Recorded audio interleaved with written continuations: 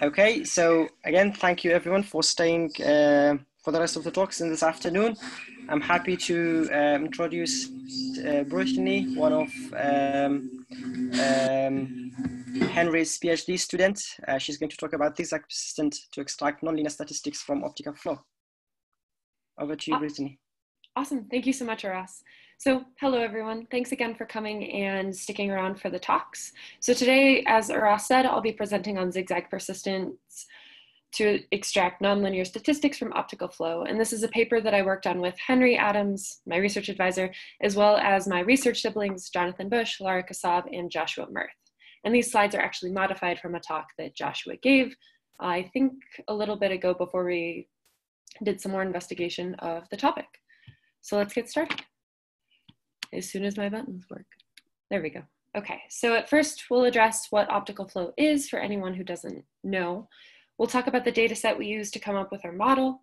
We'll talk a little bit about the analysis we did, and finally, the results. So, what is optical flow?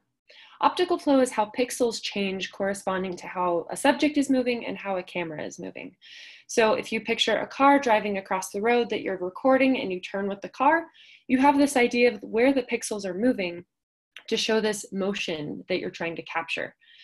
So the way we represent this is as a sequence of vector fields. So for each pixel in a given frame, we associate a vector with it to where that pixel appears to move in the next frame. So this is a problem that we're trying to develop algorithms to estimate optical flow from video sequences.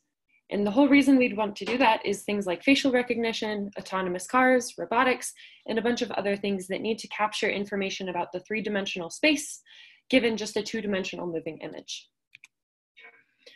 But we have some issues that arise with trying to recapture this problem. So the first thing is that this problem is ill-posed. So if you look at the example of the barbershop pole on the left, if any of you who have actually experienced a barber pole, you know that all it's doing is turning around and those stripes that appear to be moving are just a result of this cylinder rotating. But if you just look at a single pixel, the actual motion that it could be capturing is just that that um, pixel is sliding up vertically. And so if you're going to have an algorithm that estimates your optical flow, it's going to have to make an assumption about which is going to be more likely. So we want to determine a way to test which is going to be more likely. And the way we're going to do that is by encoding optical flow data as a point in Rn, which is going to give us a space of optical flow data. So since we are topologists and data scientists, the topological slash geometric structure of dense subsets of this space might reveal some plausible assumptions. So if we can gain an idea of the underlying structure of the data, we can say something about which assumption we want to make. Okay, so if we're going to construct a model, we need a data set to work with. And there are some other data sets that have been around for a while. So for example, the Middlebury data set is just, there's a bunch of stuff with very small movements. There's a KITTI data set, which is a car that was driving along, taking images, and then has additional equipment to actually evaluate the ground truth optical flow, so the stuff that's actually going on in reality. And there's also an additional data set called the Roth and Black data set, which has both images and distances for the camera. But all of those aren't really realistic and they don't necessarily have the level of complexity that we wanted to use for our data set. So since optical data, optical flow data is hard to obtain, why not just create something on a computer that gives us the actual optical flow data? So the data set we worked with is something called Sintel, which is an open source animated film made with Blender. And what Blender is, is it actually constructs the 3D image that you're trying to capture and then records over it your video image. So let me give you an example of what a clip of that looks like.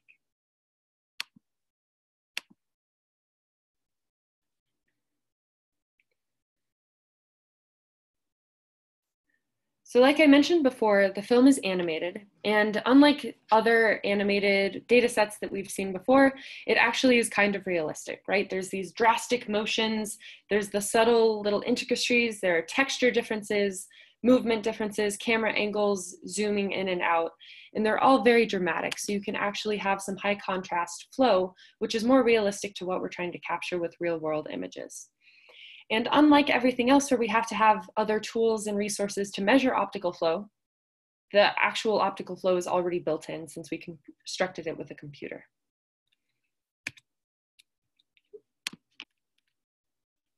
Okay, so we have this huge data set and it's about a 30 minute film. So we have a bunch of scenes to pick from. And so the first thing we're going to do is randomly sample 400,000 points of three by three patches from the 1,041 fields in the Sintel dataset.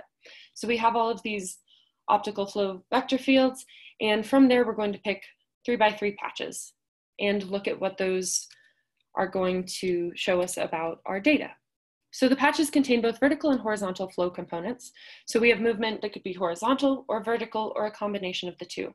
So we're going to take all of that information for each patch and we're going to rearrange that into a length 18 vector. From there, we want to focus specifically on high contrast patches. So we're going to have to compute the contrast norm and normalize a little bit. So to give you an idea of what I mean by contrast norm, you could picture something with low contrast norm being a patch where all of the vectors are pointed in the same direction and they're very short. So nothing's moving fast and it's all kind of moving the same direction. Whereas a high contrast patch would have something like maybe a drastic movement down and then another movement to the right, which would give us a lot more information about the optical flow at that specific patch. For computational feasibility, we then want to randomly downsample to 50,000 data points, just so we don't go too crazy. And last but not least, we want to pull out a dense core subset using the kth nearest neighbor estimator. So to describe this process, think about if we were trying to sample the population of any country. All of the places that have really high density of people, if we were to randomly select people, we'd probably get a very dense subset here and here maybe. And then maybe if it was in America, in Wyoming, we'd only have one or two people just because the population density is so much lower. We want to focus specifically on the dense subsets. So I might eliminate outliers like, sorry, the people in Wyoming. Okay, so if we're going to use this data set, we're going to have to have some algebraic topo topology tools in order to evaluate what's going on. So specifically, we need to address this idea of fiber bundles. So for those who aren't familiar, a fiber bundle consists of spaces F, E, and B, where F is going to be the fiber, E is going to be our total space, and B is going to be our base space. Where if I look at the pre-image of B, it's going to locally resemble B cross F.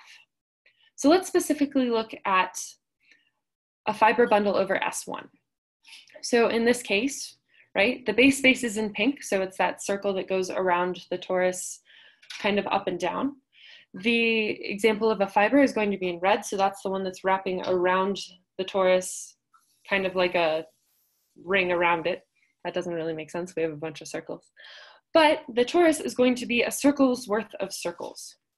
And just to check that our intuition makes sense, if I was to look at the pre-image of S1, that would give us S1. And if I cross that with my fiber, S1, I get S1 cross S1, which is exactly what my torus is. But fiber bundles can be a little misleading because this is not the only possibility I get for a circle's worth of circles. I could also have something like the Klein bottle.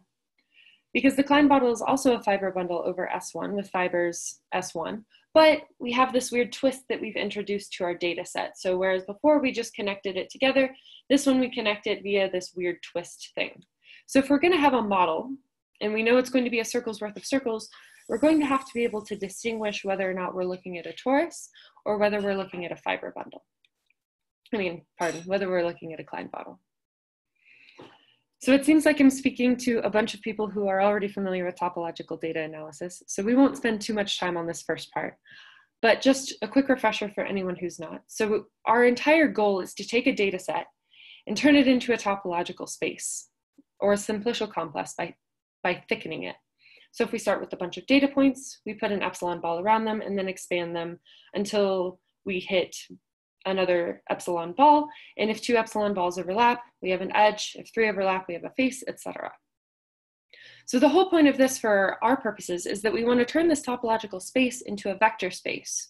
Specifically, we want to look at h sub 1 of x, such that the dimension is the number of loops in x. And this is going to be nice because for computational feasibility, we want to reduce it into something that's linear algebra based. So this simplicial complex is going to depend a lot on the amount of thickening or our scale parameter, the radius of those epsilon balls. But you can imagine if those balls got too big, well then we wouldn't really have a whole bunch of information because everything would just be connected. So to address this, we're going to instead look at persistent homology, which I think a few of the other speakers have already mentioned in some of their talks. But eventually what we wanna do is increase this epsilon ball bigger and bigger and bigger, starting from zero, going until everything overlaps to track how the loops evolve. And then if a loop, for example, like the one that's in the center of the circle, sticks around for a while, we know that's going to be a very important feature of our data set. So whenever we do this, we're going to have to have some idea of what our results are. So we can display those in two different ways. So the first, of course, being our persistence barcode, where the long bar at the top signifies that loop we had in the very middle of our data set. And all of these shorter bars are just little loops that might have appeared for a brief amount of time and then disappeared. The other way we could look at it is we could instead capture this as a persistence diagram, where it's our typical persistence diagram. We have birth, which is along the x-axis, death, which is along the y-axis, and of course, you can't die before you're born, so everything below the line is not going to be involved. So just like we had this single long bar that indicated the hole on the previous example, now instead we're going to have that point in the upper left-hand corner, which signifies that we're going to have some, a feature that is born really early and then it dies really late. But the specific kind of persistence that we want to talk about and that we're going to use for our model is something called zigzag persistence. So suppose we've sampled a data set a bunch of different times. So we have maybe X sub 1, X sub 2, X sub 3, which are all samples from the same data set. So what we want to do is look at a bidirectional sequence of spaces that turns into a bidirectional sequence of vector spaces that's going to track how these loops evolve. So the example we have below, suppose you sample a slice of Swiss cheese, right? There are a bunch of holes and if I was to do samples, maybe I sample around one hole, the circle hole, and maybe I sample around another hole, the triangle hole. Originally, I have no way of knowing if these two holes are going to be the same or not. I don't really have any idea of my underlying space. So the way I deal with that is I say, okay, I'm gonna take these two things and I'm going to these two samples and I'm going to combine them together to get one bigger sample. So if I get this bigger sample and then I compute the persistent homology of it, then it's going to capture this idea that my circle and my triangle aren't directly on top of one another. They're kind of adjacent and off to the side. So this is actually capturing two holes instead of one hole. So we have some idea of what our space looks like without having to either do really, really large samples or resample our data set. So this is going to be the version that we actually need to come up for a model. Okay, so we have our tools. Let's talk about results. So the first thing we'll talk about is this horizontal flow circle. So I said we were going to sample the densest subsets. So originally, let's start with a 30% of points and compute the persistent homology. So we know we're going to get this circle, which is that long bar across the top of our persistence barcode. And the single long barcode is going to imply the circular, circular structure. So if you look at the data cloud that's below on the left, then you have this sphere looking object and you have this circle that's going around kind of in the middle of it. That circle is going to correspond to the horizontal flow circle. So if you look at the figure to the right, we have a bunch of arrows and all of those arrows are either pointing left or right. None of them are pointed at an angle or up and down. What this represents and what you can picture is that the majority of our movement in our camera angle is going to be in the horizontal direction humans are limited by gravity, right? So we could, for example, be running along the ground. Your head is a swivel, so that would mimic a camera swivel. So you're looking from left to right a lot more often than you're going to be looking diagonally or up or down. So this feature that we can see within our data is this horizontal flow circle. And that tells us that this is going to be the most common direction in which our camera movement is happening. But now we want to capture some more information, so we're going to sample a bigger subset of our data we're going to sample 50% of the densest points, and we want to note how the structure is going to change. So in order to do this, we're going to use PCA to associate a flow angle to each data point. So on the last example, we had a bunch of different angles, but the one that really stood out was the horizontal one. Now, we can instead look at a bunch of different angles going from maybe horizontal up to vertical and doing all the diagonals in between. So we'll split these into different flow angle bins and then parameterize the data set by a circle. makes sense, right? We have a bunch of different angles, and then if we're looking at all possible angles, that's going to give us a circle. So we'll compute the persistence of the points at each angle. So if we did that, an example of our calculation is done below. So we have again the circle's worth of data. And this is going to measure the angle separating the foreground and the background. So specifically, I'll go back to the previous slide. And you can see how we have these arrows that maybe for the ones on the leftmost and rightmost point in the circle, they're all going like this. Whereas above, we have arrows that are going like this. So that angle between the arrows represents the angle between our foreground and our background. So for this 50% sample of densest points, and we're looking at all of those different angles, well, we're gonna get a circle's worth of them. So if that's the case, we wanna figure out, are these circles going to glue together? Or are we gonna have more of a Swiss cheese type model that I talked about when we were doing zigzag persistence? Okay, so if we're going to use zigzag persistence, we need to build our zigzag filtration. So we're gonna take all these angle bins that we split up into, we actually use 12 different angle bins, where xi is the complex constructed from the eighth, ith angle range at scale parameter one. So we'll take all these different angle bins and then we'll actually overlap them and look at the union of those two bins. We'll compute the zigzag homology using Dionysus, and turns out what we get is no surprise because my title was talking about a torus. We're gonna end up getting a single hole, so these are all talking about the same circle. So what this tells us is that this is going to be a fiber bundle over S1 with S1 fibers. Okay, so we figured out that we have a circle's worth of circles. We figured out that it's going to be this fiber bundle, but like I talked about before, now we have to identify which one it is. Is it going to be a torus or is it going to be a Klein bottle? So we have to actually do a classification. And so what we'll do is we're going to sample a collection of patches near the idealized optical flow torus. So we're assuming we have a torus model from some of our other work, and in order to test that we actually do have a torus model, we're going to pick some patches near this optical flow torus.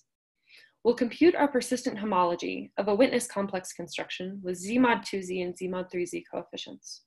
So we'll compute our witness complex, and from there, we're going to compute our homology for using coefficients Z mod 2Z and Z mod 3Z. Because the nice thing about doing this is that if we have a torus, we're going to end up getting the same Betti numbers, so B sub 0, B sub 1, and B sub 2, for both Z mod 2Z and Z mod 3Z. Whereas if we were to do it with the Klein bottle instead, then these would actually change. We would get different Betti numbers for Z mod 3Z, even though they would be the same as the torus for Z mod 2Z. So when we did that computation, as you can see in our picture below, we ended up getting one for dimension zero, we get two for dimension one and one for dimension two. So as those of you familiar with this know, this is actually going to give us our torus model. So even though we were starting with something that looks a lot crazier, and all of these different optical flow patches, we really only have a few options for what those optical flow patches are going to be. They're going to be the patches that live on the torus. So if we wanted to actually reconstruct the ground truth optical flow and get some idea about which assumptions we can make, so going back to the Barber pole, this might give us some intuition as to whether or not those pixels are moving up or those pixel, pixels are moving around because the ones that are moving around should typically fall in line with that torus model whereas these might be, if the pixel was moving up, it might constitute more of an outlier. Okay, so thank you so much for your attention and I am open to any questions you all have. Uh, hello, do you have a, a picture, two-dimensional picture of these uh, uh, patches? Yes, so let me, instead of just a patch, let me give you an example of an actual whole scene because I think that'll give us a little bit more intuition. So let me pull up the paper. Bring your shared window to the front. Resume share.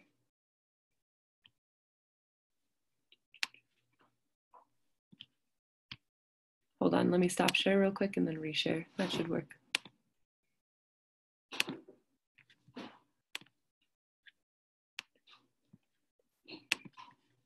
Okay, so if I scroll down, so the figure on the left is a sample of optical flow extracted from the database. So these high contrast patches are the ones that have this drastic, drastic color shift. So for example, the white versus black is showing us that we have this severe motion where maybe the foreground is going drastically to the left, whereas the background is going more drastically to the right. So you can see two examples from there. Does that answer your question? Uh, okay, I, I, was just wondering about these uh, um, three by three patches because you you had a, a picture that uh, basically was describing a cycle, a, cycle, one-dimensional cycle. So I was wondering if you have a, like a two-dimensional uh, family of, of patches describing this torus. Gotcha. So now that I think I understand your question more, I will pull your attention and let me see if I can zoom a little bit to this figure up here. So what in a different paper, what my advisor along with his collaborators found is that oftentimes these patches that we're getting a circle's worth of data from correspond to the fact that most of the time we have this very obvious split between our foreground and our background. So on this example right here, the white regions are background and the black regions are foreground. So we have this drastic line where all of the foreground stuff is in the um, upper right corner if we're looking at this patch right here and all of the background stuff is in the left corner. And it turns out to be a trend that this line is actually going to follow a circle's worth. So instead of having this weird discrepancy between foreground and background that's, you know, a little more random where we could have pixels with gaps in between, it's actually more of a distinct divide. Okay. Yeah, thank you. I mean, uh, yeah. I got a question real quick, Brittany. Yeah, Ravi, what's up? Uh, so I, if I understand correctly, when you're doing this motion tracking type thing, you're following the pixels as they move across the screen. Mm-hmm. Um, but if you had an object that was coming closer or further away from the camera, it would naturally, like that pixel would kind of like dilate or contract in a way because it's like gonna be discretized more or less as it gets like closer. So how do, how does that factor into this kind of like foreshortening in perspective? Gotcha. That's an excellent question. So one of the things that we um, focused on in this paper was specifically this idea of camera motion. And there, and the specific type of camera motion was worried more about the panning of cameras going up and down. But we also know that there are other types, like you mentioned, you can zoom in, zoom out, and you can also do a roll. So you could like be rotating around if you want some funky camera effects. So in our paper specifically, we didn't really address those effects, but there are similar applications that you can do to try to look at a model for those specific effects. But for the torus, we were specifically focused on this idea of movement left, right, up, down, and combinations of the two. They're, okay, they're in the data set, but now with enough frequency to uh, to affect our model.